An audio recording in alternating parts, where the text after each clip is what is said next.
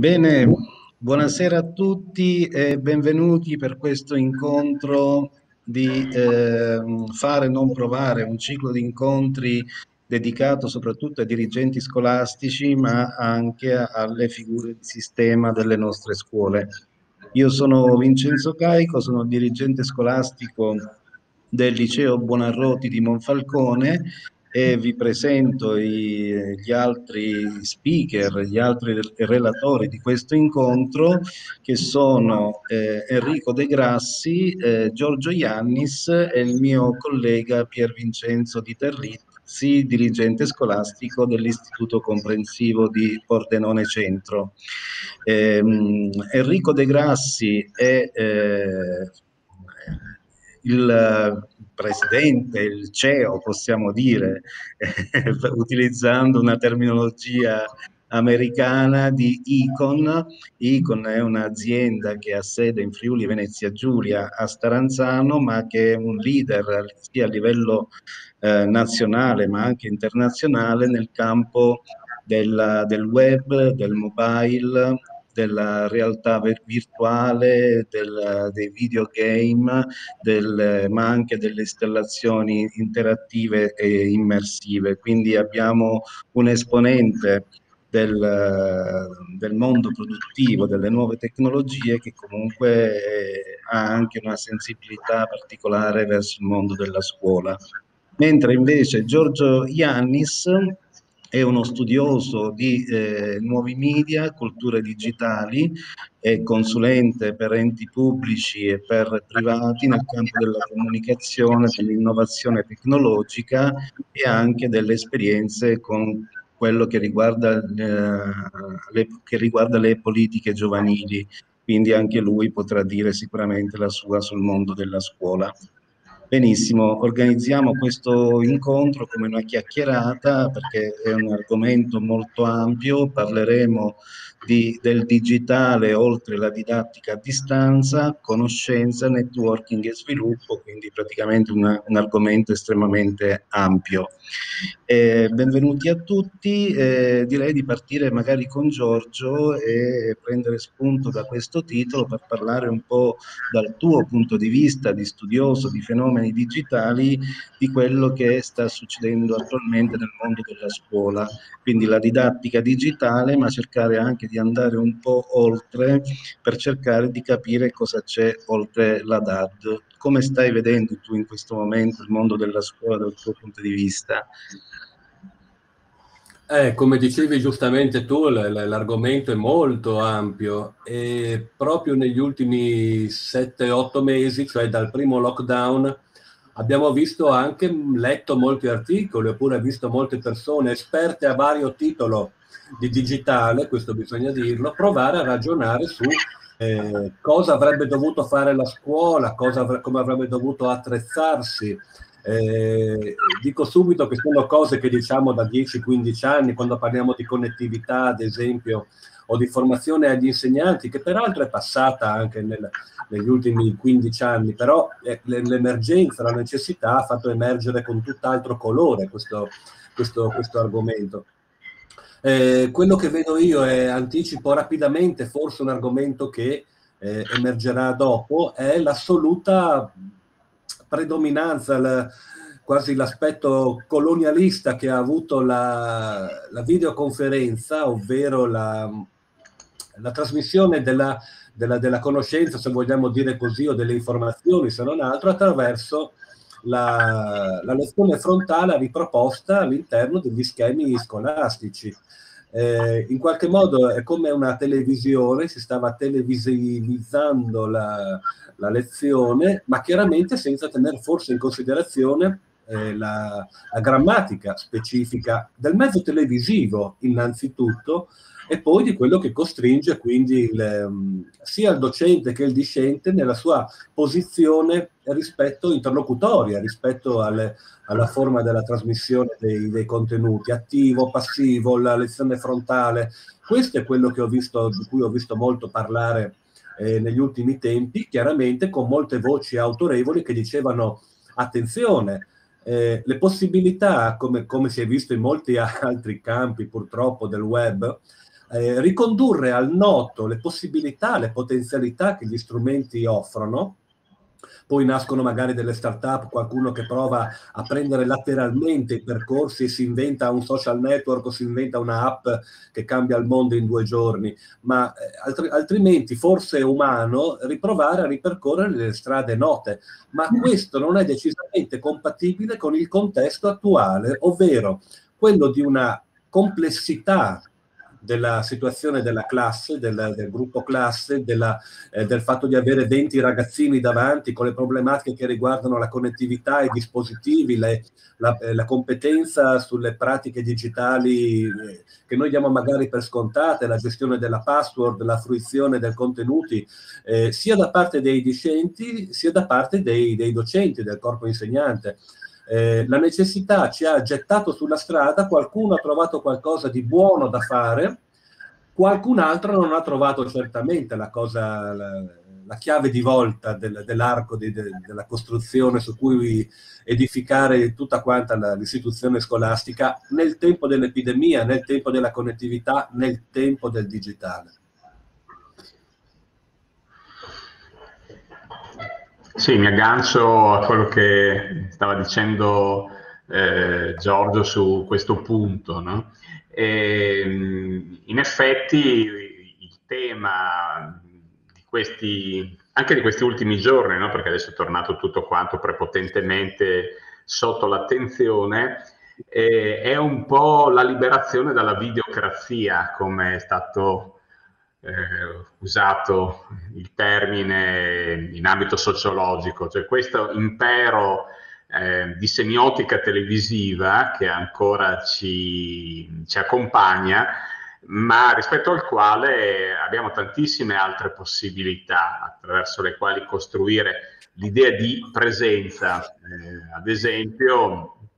eh, eh, c'è un ritorno di attenzione alla fruizione audio e anche alla eh, sottolineatura di quella che viene chiamata da Roland Barthes la grana della voce, no? che è di mh, più recente impatto e che vedo che tra i giovani e giovanissimi sta molto funzionando. No? No, per noi magari è più legato al piacere dell'ascolto dell'audiolibro fatto con qualità. No? Voglio dire che c'è una, una, posta in gioco, visto che guardiamo oltre, molto importante e qui sicuramente eh, chi guarda le cose dal punto di vista di una factory che lavora molto su, su queste tematiche ha, parecchio da dire anche noi a scuola, no? che c'è anche una plurisensorialità che viene rimessa in movimento, poi magari diremo anche qualcosa sull'idea del tempo, dello stare nel tempo, che so che è un tema che anche a Giorgio interessa molto, no? ma qui sicuramente il nostro ospite di Icon ha molto da dirci. Sì, eh, Pier Vincenzo, proprio mi collego volentieri a, a questa tua ultima affermazione eh, e anche a quello che ha detto Giorgio poco fa, eh, innanzitutto eh, affermando una cosa, ovvero che eh, se è vero che ci siamo tutti quanti eh, buttati e tuffati in questa didattica a distanza eh, videocratica dove le, le video call l'hanno fatta da padrone, abbiamo visto subito intanto quelli che sono i limiti del mezzo e quelli che sono i limiti della nostra infrastruttura tecnologica a livello di paese. Parlo di cose che potevano sembrare eh, ininfluenti nel momento in cui non ci avevamo a che fare ogni giorno, ma latenza, problemi di connessione rendono la comunicazione eh, eh, come dire veramente complessa. Cioè nella didattica in presenza noi abbiamo eh, una condizione ideale in cui abbiamo latenza zero e l'insegnante parla e eh, più o meno tutti gli studenti percepiscono in tempo zero quello che viene detto non c'è un problema di, di connettività eh, già il fatto di dire ok facciamo la stessa cosa quindi senza cambiare un modello ma riproponendo esattamente lo stesso modello attraverso la, la video call ci accorgiamo che eh, questo tipo di sfasamento per cui fra quando parlo io e quando senti tu passano due secondi qua nella call che stiamo facendo adesso c'è la, la, la percepiamo questa latenza crea delle distonie no? quindi la, il sommarsi di tanti di questi fattori eh, fa sì che eh, ci rendiamo conto innanzitutto eh, che abbiamo della strada da fare, innanzitutto per mettere al passo appunto la nostra infrastruttura tecnologica eh, a livello di, di, di, banda, di infrastruttura, di connettività, di strumenti, di device. Questo è sicuramente il primo passo. Il passo successivo è secondo me molto interessante proprio legato all'idea di presenza. Ora, questa, questo schermo che noi guardiamo anche in questo momento, che ci consente in qualche modo di parlare tutti assieme, di partecipare a questo evento, in realtà sta mettendo una distanza importante perché non abbiamo la percezione. Intanto io in questo momento ho la percezione dei, dei relatori e tutti gli ospiti li vedo come dei bei guest eh, no, allineati sul bottom del, del, nostro, del nostro schermo ma ehm, mi aspetto che appunto un'esperienza di didattica eh, digitale riesca a creare un'idea di presenza molto più convincente di quella che adesso viviamo attraverso questo tipo di, eh, di approccio. Mi aspetto per esempio eh, di avere la possibilità di avere un ambiente collaborativo e io qua guardo subito a quelle che sono le tecnologie con le quali noi stiamo sperimentando, che sono quelle della realtà virtuale, della mixed reality, della, della realtà aumentata, dove il concetto di esperienza multiutente non avviene su questa uh, scacchiera di facce che si allineano nel nostro schermo, ma avviene magari all'interno di uno spazio virtuale all'interno del quale io e altri utenti possiamo essere presenti nello stesso momento, possiamo non solo guardarci attorno a 360 gradi, ma possiamo muoverci, possiamo usare le nostre mani perché ormai i visori eh, di seconda generazione con, con tracking a 6 gradi di libertà ci consentono di muoverci, di usare le nostre mani per interagire con gli oggetti e adesso eh, con gli ultimi device che stanno arrivando sul mercato ci consentono per esempio di avere il face eh, capture per avere l'espressività delle persone eh, che eh, all'interno dello spazio virtuale partecipano a delle attività, quindi posso vedere se una persona sorride o è sorpresa, ecco, sono tutta una serie di ingredienti che, eh, come dire, tante volte ci perdiamo ecco, in questo eh, primo stadio di eh, esperienza di didattica online, dove tanto, gran parte del messaggio, secondo me, si perde proprio per, per come, per il mezzo che stiamo, che stiamo utilizzando e per la modalità eh, con cui viene utilizzato. Aggiungo una cosa piccolissima che quello di cui sta parlando Enrico non è futuro o futuribile, cioè gli esperimenti che riguardano, esperimenti documentati su, sulle banche dati del de, Ministero dell'Istruzione, che riguardano l'utilizzo dei mondi attivi o mondi 3D, che proprio eh, io personalmente ho accompagnato classi scolastiche anche delle primarie, a costruire dei mondi come quello che fanno oggi con, con software, con applicazioni moderne, è una cosa che ha più di 15 anni, anche 20 anni. Certo. Si, è, si, comprende molto bene in termini pedagogici l'importanza di questa azione, eh, coinvolgere il gruppo classe, la motivazione, la, la, suddivisione dei compiti, giungere all'obiettivo didattico attraverso un modo laterale, attraverso la costruzione di un vero, di un vero e proprio mondo dentro cui allestire esperimenti di chimica o di fisica, presentazione del paesaggio oppure delle mostre artistiche, qualunque cosa. E non è qualcosa appunto che, o tutte quante quelle altre cose di cui abbiamo parlato, sono cose presenti da tempo e facilmente anche eh, implementabili, tra virgolette, nelle, nelle, nelle scuole, eh, però il video la, la videocrazia ci ha, ci ha, subito rubato la parola, ecco. Ed è vero quello che diceva anche Pier Vincenzo del ritorno di un'oralità che però, attenzione, non è un'oralità scritta, è una scrittura che diventa parola, è quelle, queste cose strane che eh, il web ci ha insegnato a non è più un linguaggio scritto, assomiglia più a un linguaggio iconico, un iconolese, assomiglia a un modo diverso di comunicare. E queste qua sono competenze linguistiche che poi diventano competenze relazionali che vanno assolutamente indagate, coltivate, comprese per poi abitare in maniera coerente,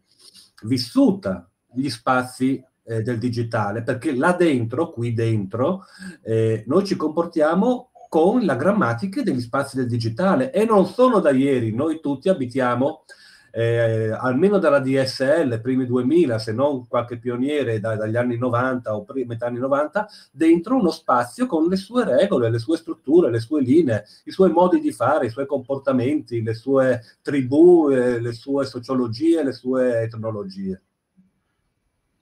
Grazie Giorgio. Eh, in effetti però eh, passare dal, dal, vecchio mondo al nuovo mondo, quello del digitale, quello della didattica online, non è stato semplice per tutti.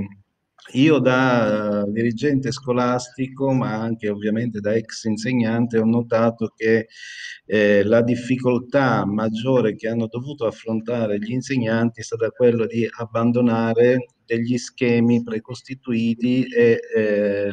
come dire, la tentazione di replicare eh, online quelle, quelle, quelle che erano delle modalità che potevano essere realizzate solamente invece in presenza. Il digitale quindi ha il suo linguaggio, le sue modalità, ma questo vale anche per gli studenti perché una cosa che si è notata è che è vero che i nostri studenti sono dei nativi digitali e come dicevi tu eh, in un incontro che abbiamo avuto prima, Giorgio, e i ragazzi oggi non dicono noi ci vediamo in videoconferenza, ma dicono direttamente noi ci vediamo, intendendo noi, noi ci vediamo come il vederci online. Però è anche vero che a loro mancano un, un po' Eh, delle basi che si possono acquisire attraverso un'educazione ai media, un'alfabetizzazione digitale, ovvero loro sono bravissimi magari a utilizzare i dispositivi, e a intuire subito come si utilizza un'app, però magari non sanno bene i meccanismi che ci stanno dietro. Quindi quali sono secondo te le competenze che devono, se vogliamo appunto parlare di competenze, quali sono le competenze che dovrebbero acquisire gli studenti e magari anche quelle che dovrebbero acquisire gli insegnanti o quelli che come noi eh, proveniamo da un mondo che inizialmente non era propriamente digitalizzato? A me dici, rispondo? Sì, sì, Giorgio. Ah, sì. Eh, sì, appunto, nativi digitali non vuol dire automaticamente competenti. Eh. Sappiamo che la, l'equazione da lungo tempo è stata spezzata perché comunque c'è una curva di apprendimento per eh, radicare le, la conoscenza nelle, nelle, nelle, persone e quello che sembra intuitivo, facilmente eh, automatico, magari per un nativo digitale, non è così scevro di, di rischi, di, di, qualcosa che può andare storto, insomma. Eh, se parliamo di competenza, noi parliamo di un saper fare, cioè nei termini classici, credo, della, delle impostazioni pedagogiche, stiamo uscendo da eh, conoscenze intese come saperi o abilità o capacità che noi abbiamo sul singolo contesto di, didattico, diciamo di scuola, o anche della vita, poi vabbè, e sappiamo trasferire questo, questo nostro eh, fare da un'altra parte, quindi diventa un nostro saper fare eh, in altri contesti. Ora, le, la questione per me, gli, gli obiettivi cui potrebbe, su cui si potrebbe ragionare, eh, se continuiamo a ragionare di eh, digitale nella didattica, rimaniamo preda, prigionieri di una dialettica continuiamo a vedere il digitale come uno strumento che si aggiunge, che va benissimo, posso fare molte cose. Posso fare, parafrasando educazione ai media, posso fare educazione con i media, eh, va benissimo, quindi scuola, didattica con i media. Posso fare educazione ai media, posso andare a ragionare invece sull'intero ecosistema del, del, del mondo eh, mediatico in cui noi ora siamo calati, dalla nostra identità personale ai nostri comportamenti online, ai luoghi di frequentazione. Questo fa uscire, come auspicabile, molti vecchi saggi lo dicono tuttora, potrebbe essere un'occasione d'oro questa per la scuola italiana per cercare di eh, rivitalizzare dinamiche di eh, ragionamento che riguardano il capovolgimento della scuola, superare le quattro mura, rivolgersi al territorio, far entrare i saperi e farne uscire altri. Insomma, eh, se riusciamo a inquadrare quindi il digitale nella scuola eh, all'interno di un orizzonte di senso più ampio, quindi uscendo dagli obiettivi didattici, ad esempio, eh, della, della, formazione, ma avendo a cuore quelle che potrebbero essere le competenze di un cittadino,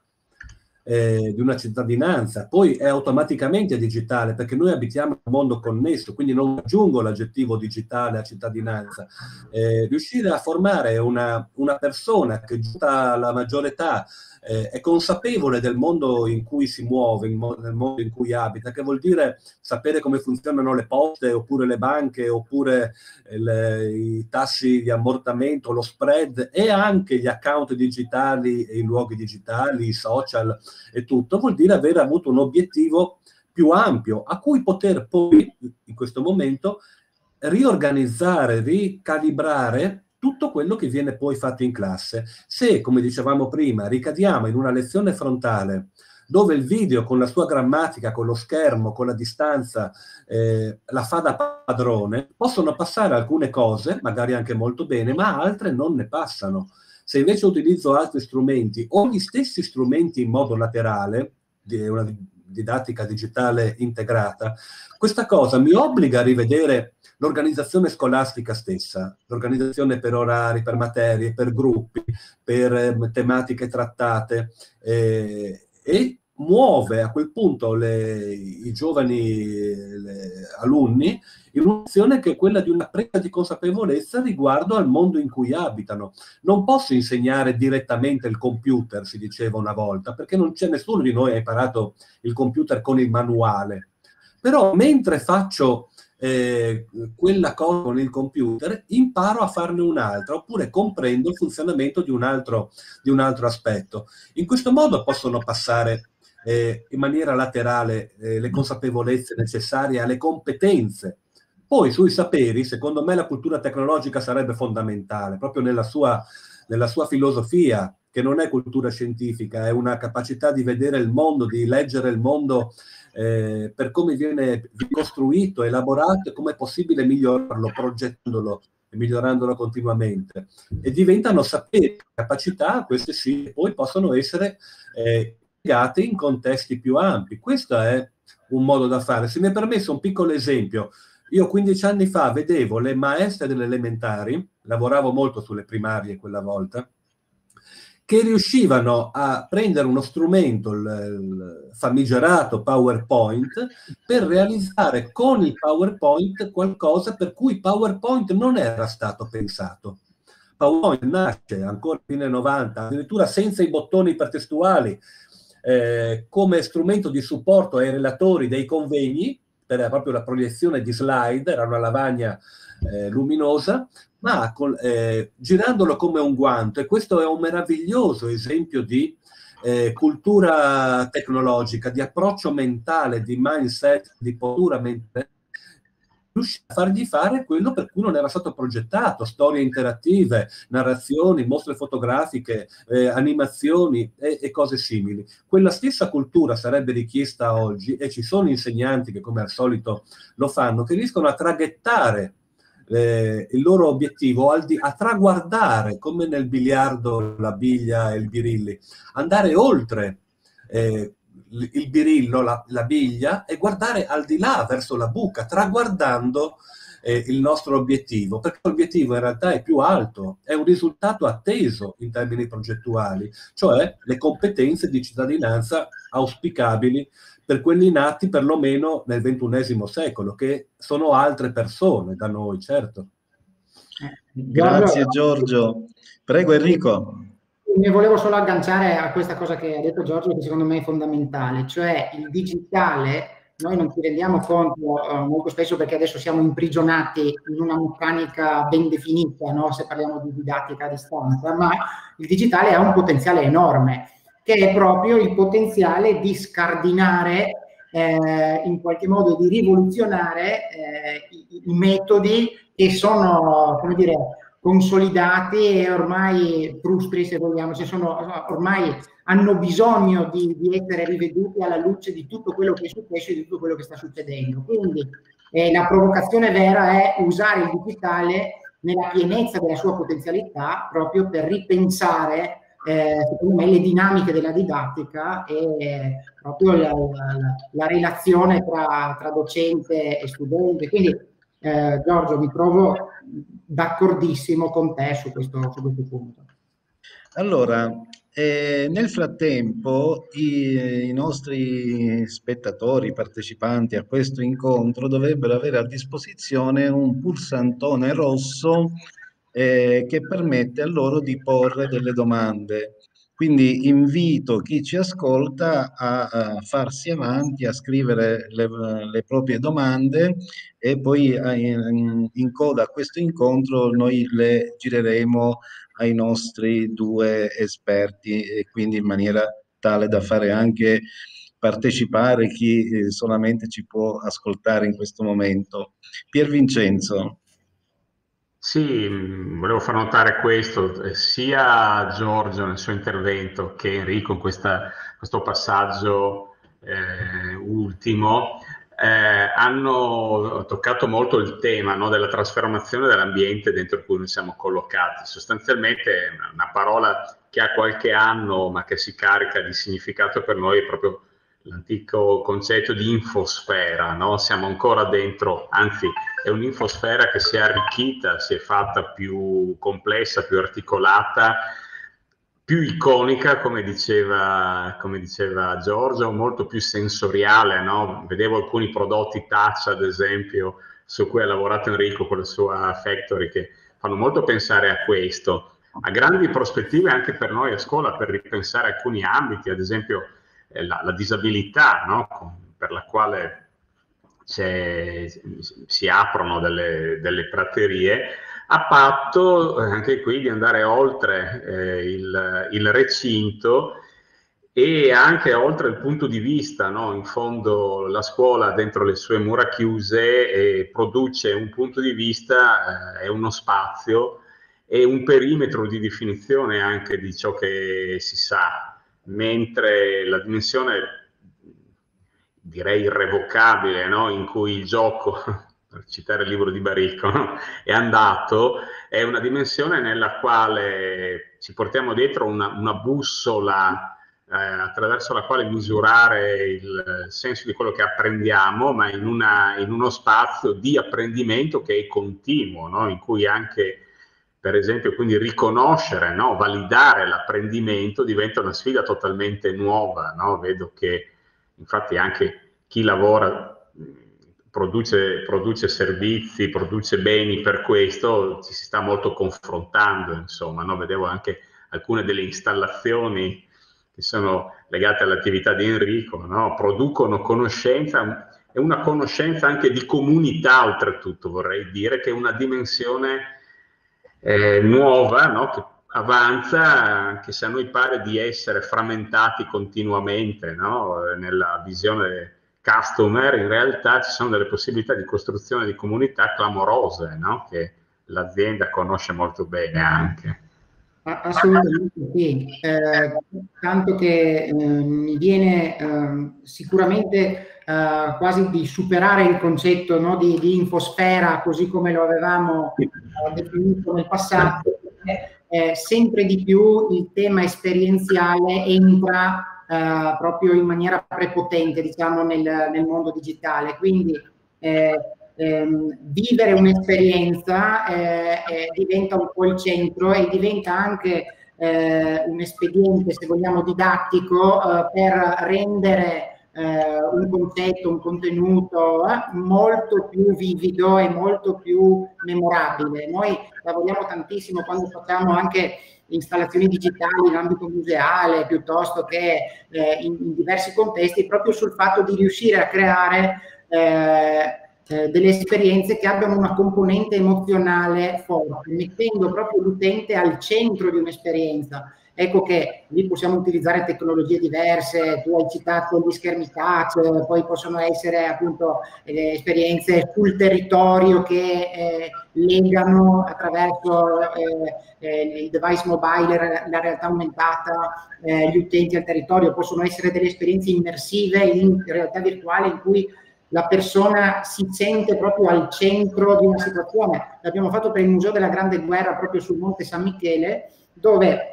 abbiamo voluto per esempio reinventare un vecchio museo che usava proprio uh, un metodo eh, di una volta, mi verrebbe da dire, era eh, le bacheche con eh, i reperti bellici e un po' di pannelli alle pareti no? per leggere così proprio didatticamente, mi verrebbe da dire no, alla vecchia, eh, un po' di informazioni su quello che è successo in quel luogo, l'abbiamo tra- trasformato in un museo digitale che usa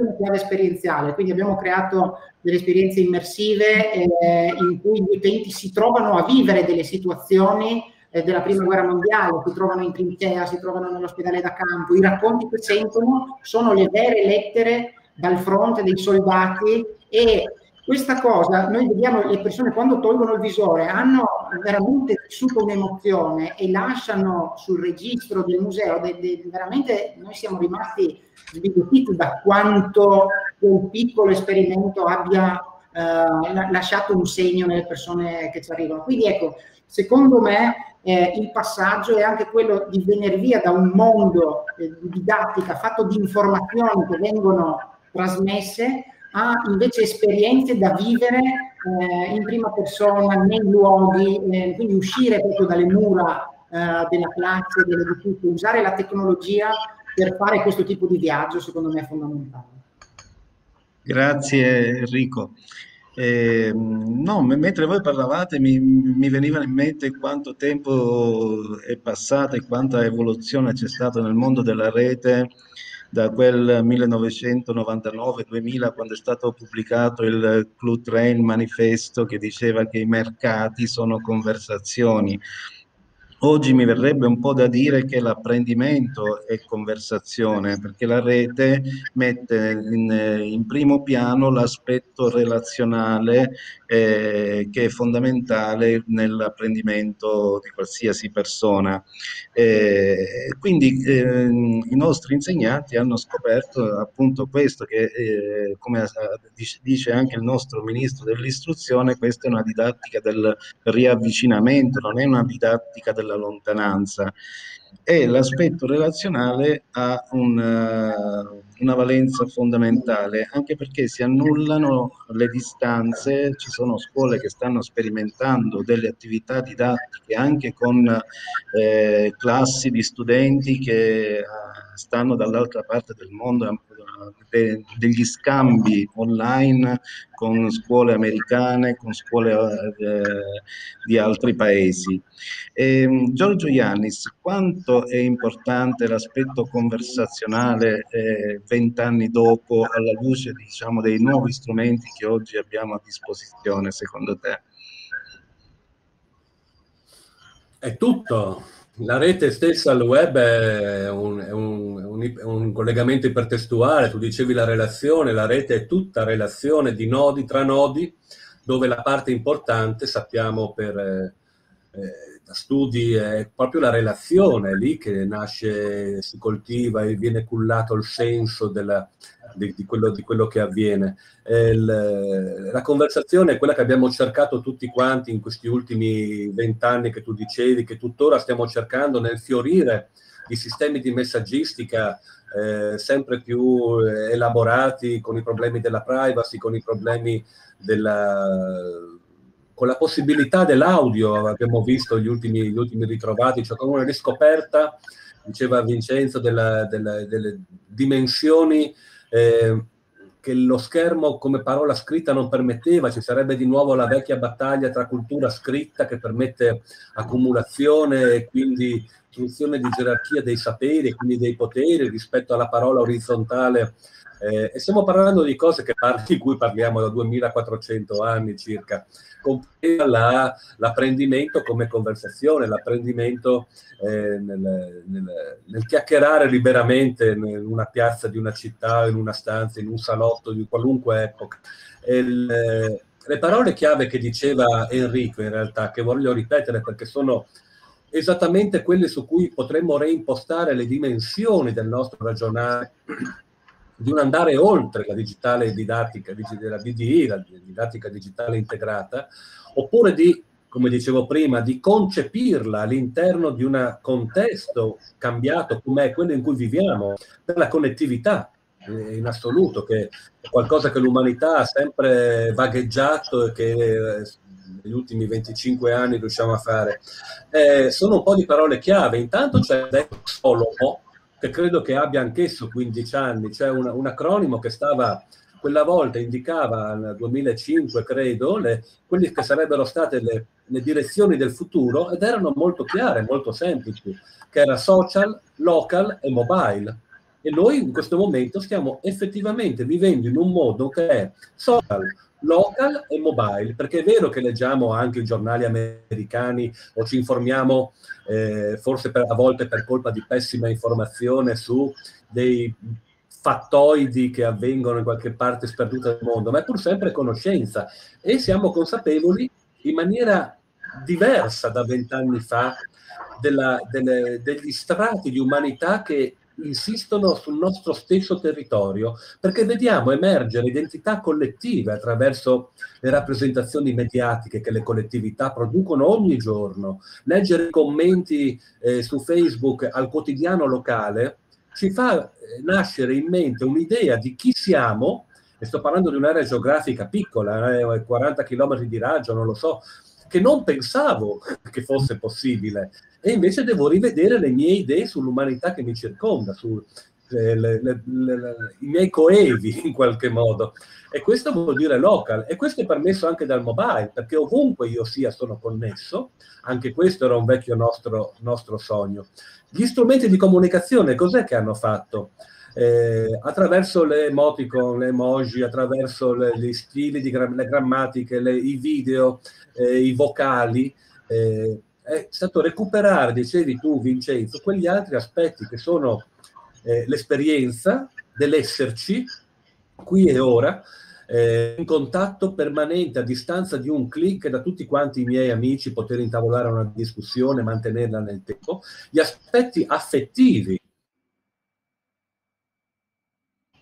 una, una forma di acculturamento per, per, le, per le giovani generazioni, perché sono eh, modalità, di nuovo dico la stessa parola, grammatiche, retoriche, in senso buono, in senso cattivo, se volete, ma del modo di darsi al mondo, che è quello che noi stiamo cercando di eh, comprendere e traghettare le nuove generazioni verso un mondo connesso. Eh, stiamo noi stessi, stiamo, stiamo imparando, abbiamo alcuni punti fermi li abbiamo per l'esperienza che abbiamo, ma sicuramente ci sono delle modalità nuove che le nuove generazioni praticano che a noi sfuggono, come ci può sfuggire l'importanza di TikTok, ad esempio, per quanto sia divertente, ma ci sono dei risvolti esistenziali in TikTok che non posso comprendere appieno perché non è un linguaggio in cui sono nato, è un linguaggio che ho appreso.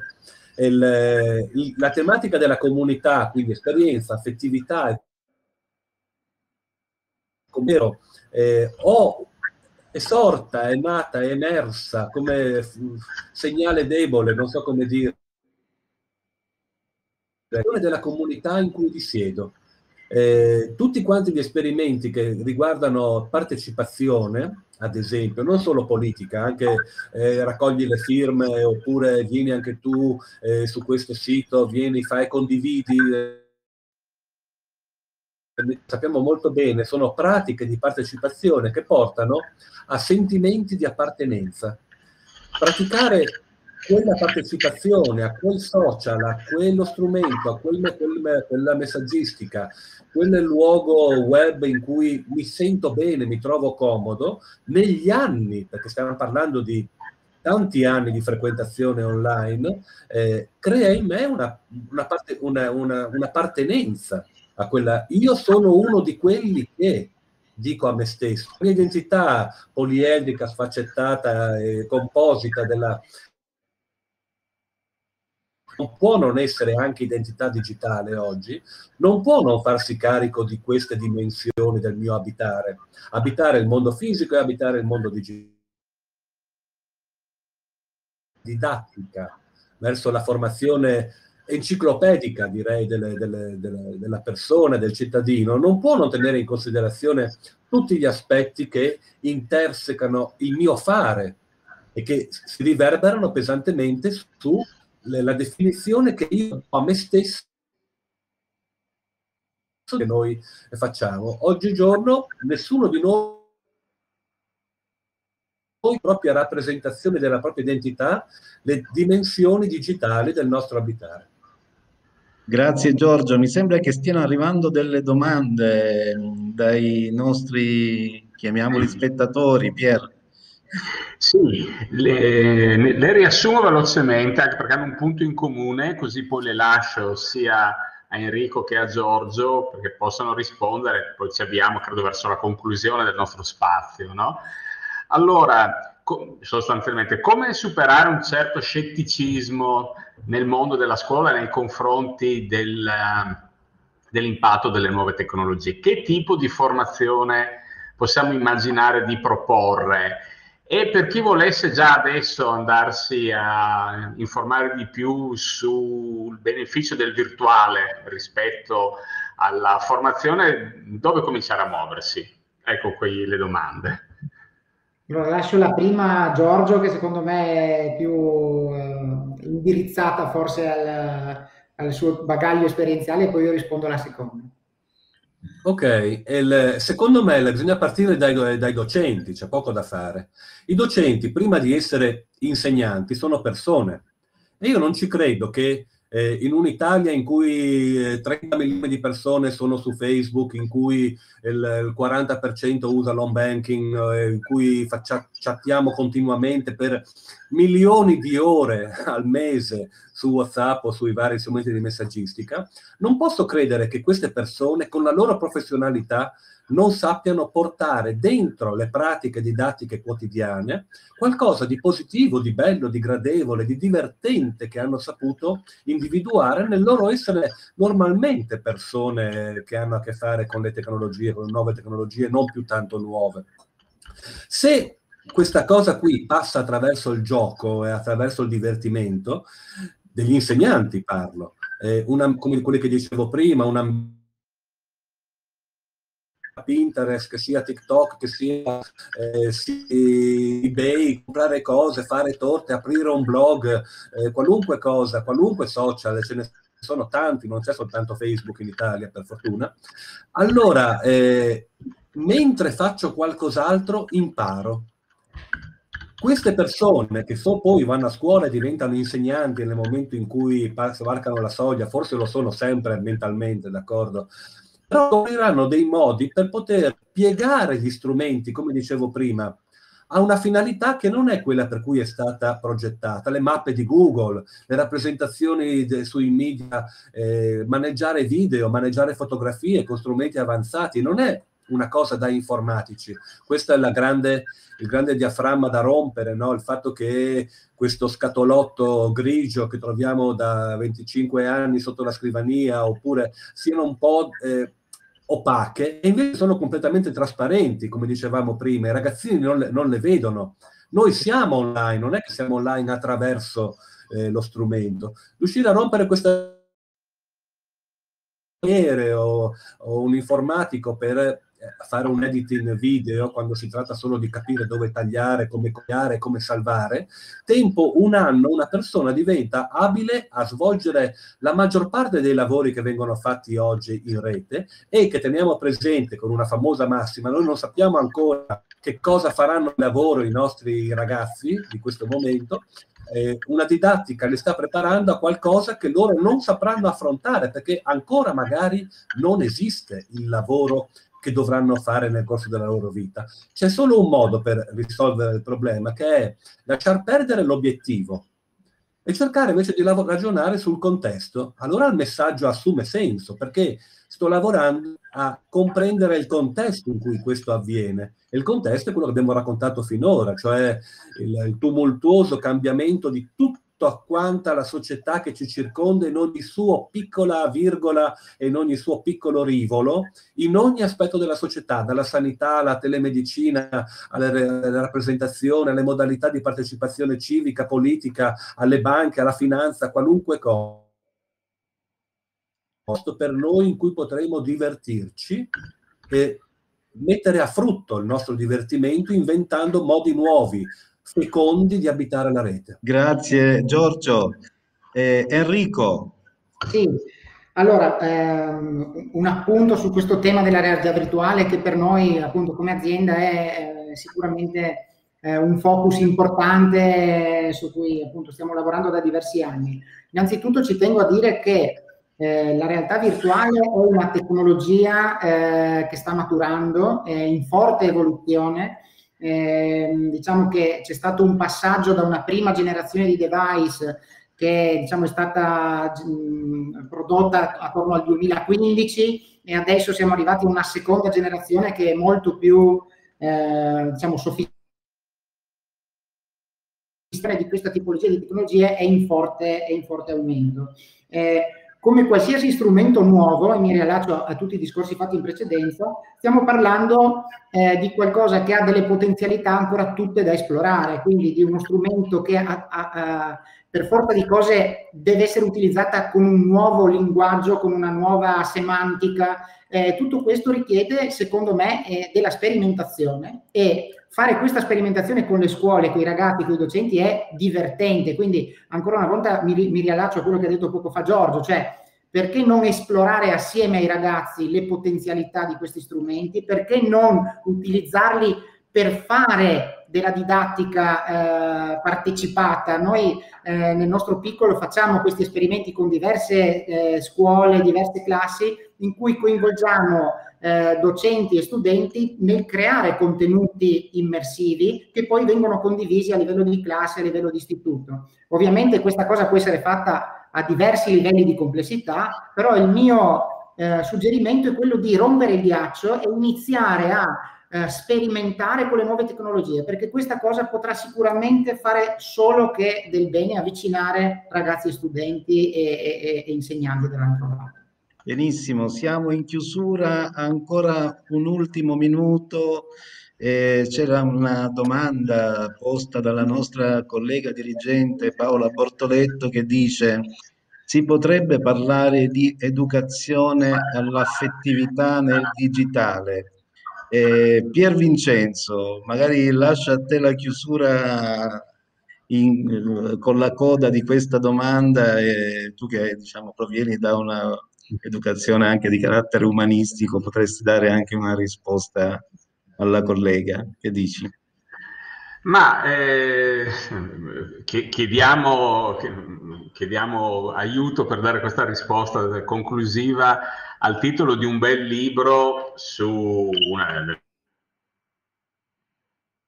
anche un grandissimo interesse per le questioni scientifiche, tant'è vero che gli fu offerta anche una cattedra universitaria, che è Giacomo Leopardi, no? che come sapete ebbe anche una possibilità in questo senso in Germania. C'è un bel libro che si chiama Pensare per affetti, di uno studioso italiano che si è dedicato a conoscere Leopardi, che si chiama Rigoni. No? Ecco, allora, ehm, l'affettività eh, è in realtà è un campo di possibilità di esperienza eh, che è legato alla nostra attribuzione di senso e di relazione a ciò che abbiamo intorno. Credo che oggi i nostri due ospiti ci abbiano fatto capire no? che c'è una possibilità di stare dentro il mondo, di esplorare il mondo eh, sia nella sua dimensione fisica che in ciò che le realtà fisiche suggeriscono, no? ad esempio appunto vedere un posto e tramite la realtà virtuale eh, dire, visitare nello spessore storico ciò che è stato, eh, come è stato nelle sue dimensioni, che scatena dentro di noi no? una disposizione alla, alla, tensione affettiva e non un, soltanto al consumo sensoriale. Certo, è una grammatica tutta quanta da costruire, perché c'è una nuova Atlantide sostanzialmente dentro la quale siamo collocati, forse noi eh, viviamo questa esperienza di, di passaggio tra, tra, mondi diversi e quindi ne abbiamo un punto di vista inevitabilmente molto proveniamo, ma insomma è, è, vero che le terre promesse sono di quelli che poi ci stanno dentro, ma qualcuno il viaggio lo deve pur fare, no? E questo credo sia eh, il nostro contributo. Benissimo, grazie Pier Vincenzo. Siamo in chiusura, grazie a tutti coloro che hanno partecipato a questo incontro e grazie soprattutto ai nostri due speaker ospiti, eh, Giorgio Iannis ed Enrico De Grassi. Speriamo di rivederci presto anche in altre occasioni belle come questa. Grazie anche a Pier Vincenzo di Terlizzi e buona serata a tutti. Grazie a voi. Grazie a tutti, arrivederci.